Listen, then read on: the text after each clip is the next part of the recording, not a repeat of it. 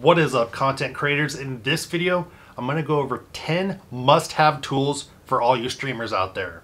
Now I want to make sure you stay till the end of the video because I'm to have a bonus tip that you're not want to miss. Let's get into the video.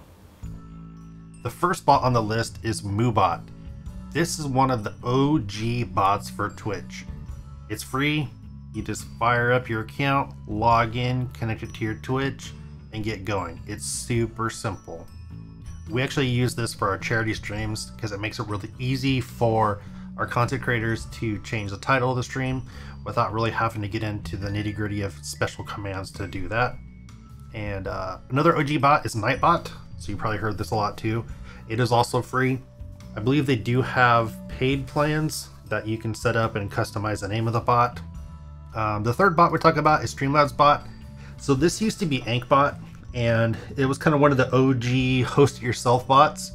And I don't know how many years ago, two, three years ago, um, Streamlabs ended up consuming and taking over AnkhBot and they turned it into Streamlabs chatbot.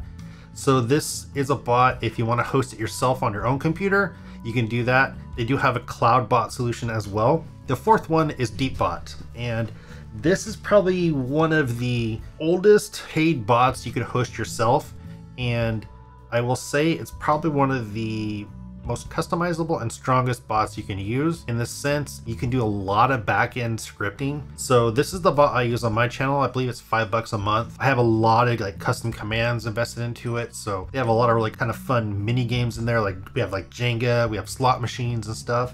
This one doesn't get updated a, a super ton, but uh, there are a lot of really cool features to it. I'd say if you're looking for a bot that you want to host yourself and you can afford the five bucks a month, definitely take a look at DeepBot. I believe you can get the you can just go month by month, so um, you don't have to commit to an entire year. The next thing I want to talk about is different tools you can use not only for emotes, but to better the chat and viewing experience on Twitch. So first up is Better TTV or Better Twitch TV.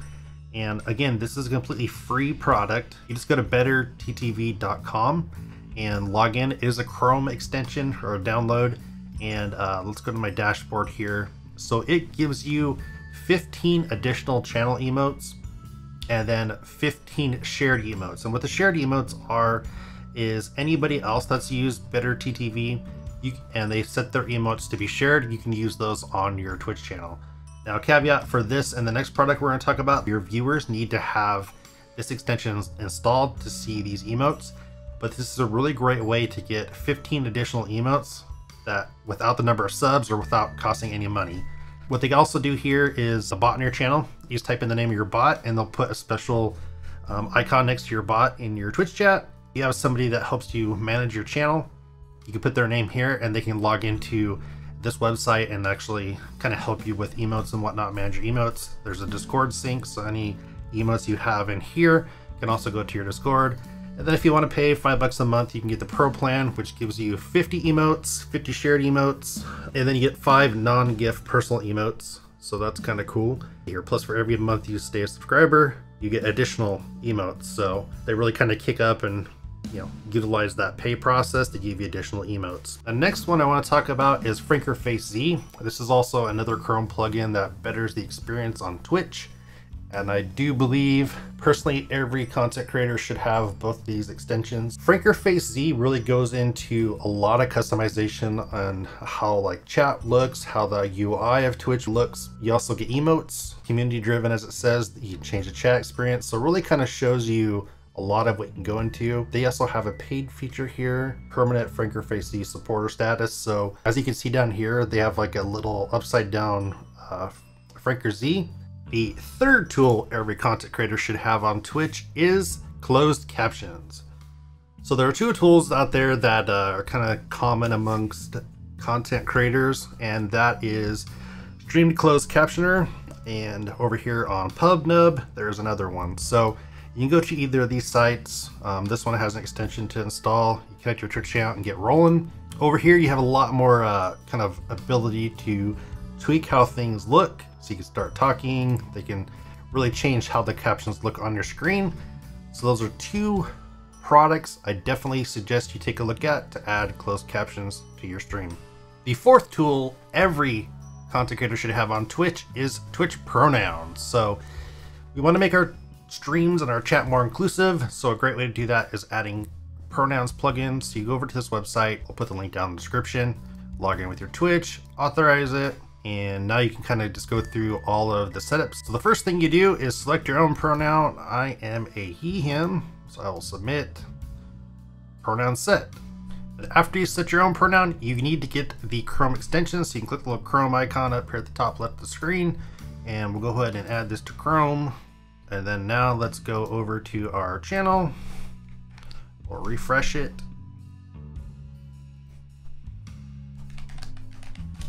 And there you go. The fifth tool every content creator on Twitch needs is Guilded. Now, this is an alternative to Discord.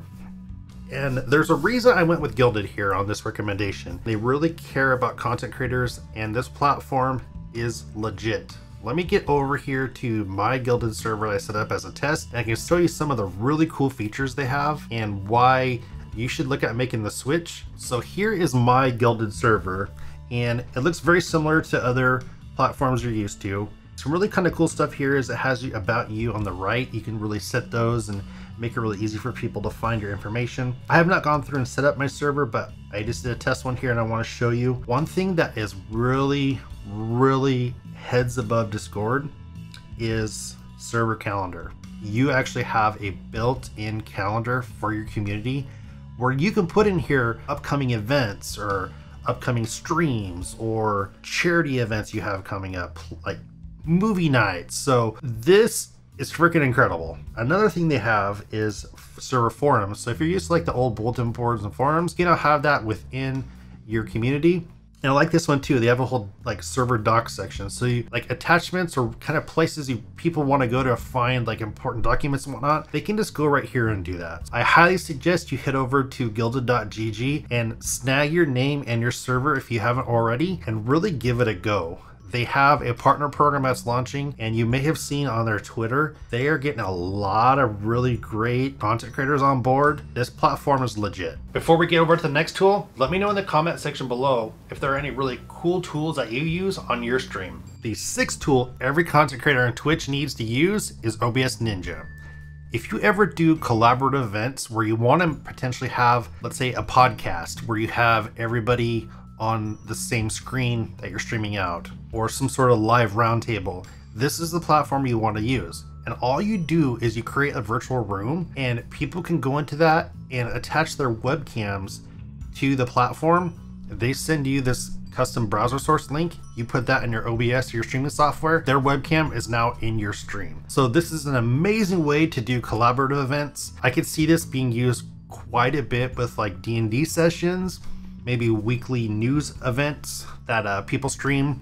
So you can also remote screen share. If you're doing like a collaborative event and you with somebody else and you want to share your screen on their stream, you can get that link, share your stream or screen, give them that link, they can put it out on their stream. So it's almost kind of like your own personal like Zoom, but you can use it in OBS. So definitely take the take a look at this. They have a really kind of cool video here that goes into um, how to how to use it. So you can see he has attached his camera to this web browser. He has this link, and the link he's going to go over to his OBS. There you go. Now he's attached his camera in OBS. It's kind of a really cool way to share your screen, share your camera, and uh, have those collaborative events. The seventh tool every content creator on Twitch needs to be using is Pretzel. Pretzel is a music platform that is 100% free, and all of the music on the platform has been curated and made stream safe. What that means is all of the artists that submit their music to Pretzel have been compensated and they have given permission for that music to be used on any platform, whether it's Twitch, YouTube, um, in your videos and whatnot, and it can be monetized. And so they actually have a couple plans here. They have a free plan, which I believe what it does is you're playing the music and the Pretzel bot will post a link to that song in your chat when the song begins playing. And then they have a premium plan, which you pay for, and you get a whole lot of really kind of cool features. Let's go take a look at here what the premium plan is. 150 bucks a year, so that's really not a bad deal for a ton of interactive music. 70% of the money goes to the artists. You don't have to have the rent, the mandatory chat attribution we talked about earlier. You can interact about it. You play any song, anytime, play, make your own playlist and seeking. So the free plan, what it does is it just randomly plays music throughout that catalog. You can pick specific channels, which are essentially categories of music. But with the paid plan, you can choose any song and make your own your own playlist. It's the platform I use. It's amazing. Uh, they have a really wide variety of music, so definitely take a look at it. The eighth tool every content creator on Twitch should be using is stream labels. Stream labels are what they say. They're text files that have specific information that have to do with your community or actions on your stream. For an example, if you've ever watched my stream, I will have on the screen the most recent subscriber, the most recent follow, the most recent person that has given bits to the channel. What those are, those are all stored in text files on my streaming computer through this program called Stream Labels from Streamlabs, and I'm able to put those text files live into OBS to show on screen. The great thing is those text files update instantly. So when somebody subscribes, information on that text file gets changed to whoever subscribed, and then you see it on the screen. Stream Labels is the way to go to keep the rewards from your viewers on screen. Number nine on our list of tools all content creators on Twitch should be using or know about is Nerd or Die. So this is a site that's all about having overlays and designs for content creators. They have a store where you can purchase icon packs, you can purchase overlay packs, streaming alert packs, but they also have a name your price section. I will link that down in the description below. And what that is, is you can go here and get anything on this page for free. They give you a suggested price. You can go with that price or you can set it to zero. It's really up to you. I highly suggest you give them a little tip, a little bit of money if you get it, but they have a lot of free assets here. Example, if you're using a Stream Deck, they have these clarity icon pack for your Stream Deck. That's what I use. It's pretty good. Back at the Christmas time, they had some naughty or nice alerts. So definitely go take a look here at Nerd or Die. And they also have a lot of really great animated overlay packs I've used in the past for other events. Take a look around their store. They're they're top notch and a lot of content creators use them. The 10th tool every content creator on Twitch should be using is Slink. So Slink is a platform that lets you put all of your links into one page. For an example, on your Twitter or your Twitch page, you can have a link to your Slink card here and it lists all of your sites. So your Twitter, your Twitch, your LinkedIn, your Instagram, your YouTube, uh, your TikTok. It's a single place to store all of your links and it makes it super easy for people to find you and get in touch with you if you need. And our bonus tool that every content creator on Twitch should be using is Raredrop's multi-platform. So if you're not familiar, Raredrop is a pretty amazing company within our industry that also runs Game Community Expo GCX. They have this multi-site that you can do multi-streams on Twitch, Facebook, YouTube, you can have everybody on a single page. If you do a lot of collab streams with your friends and you don't have the option for a squad stream, utilize this platform and you could see everybody that's in your crew on a single page and share those views and have that really great interaction. And there you have it, 10 must-have tools for every Twitch streamer out there. Thanks for taking the time to watch this video. I really do hope it helped you out. Make sure to like, subscribe, hit that bell so you know when the next video drops, and we'll see you in the next one.